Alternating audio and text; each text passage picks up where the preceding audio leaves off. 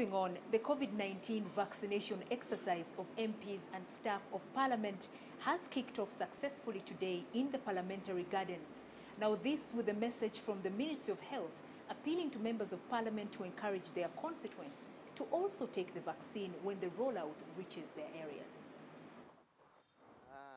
The vaccination included both members of the 10th and 11th Parliament. The Minister of State for Health and the Director General Dr. Mwebesa represented the Minister of Health at the launch. Minister Robinah Nabbanja says they are targeting to vaccinate 3,000 members in the ongoing exercise at Parliament.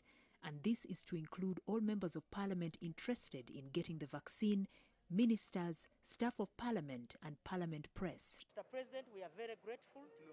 And of course, you re realize that we started with more vulnerable people, and members of Parliament are equally vulnerable.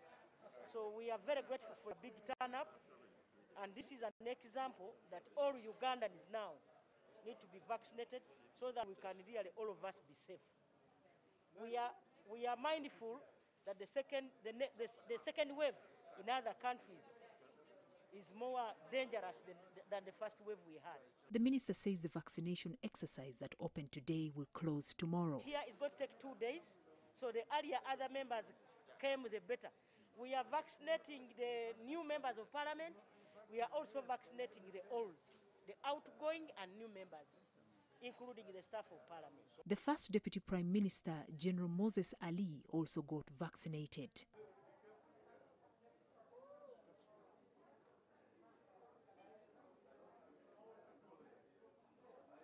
File and uh, it's important that we undergo this process because we must show by example. I'm now 82,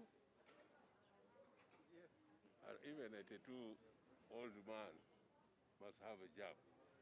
General Moses Ali says although the vaccination is not mandatory to everyone, people should take interest. He also scoffed at those who do not want to take the vaccine. Those vaccinated today include the State Minister for Environment and Kitgum Woman Member of Parliament Beatrice Anywar, the Deputy Attorney General Jackson Kafuuzi, Kasirivu Atwooki, the Minister of State in the Prime Minister's office, the State Minister of Public Service Karubanga and others, including the opposition chief whip, the Kira Municipality Member of Parliament Ibrahim Ssemujju Nganda.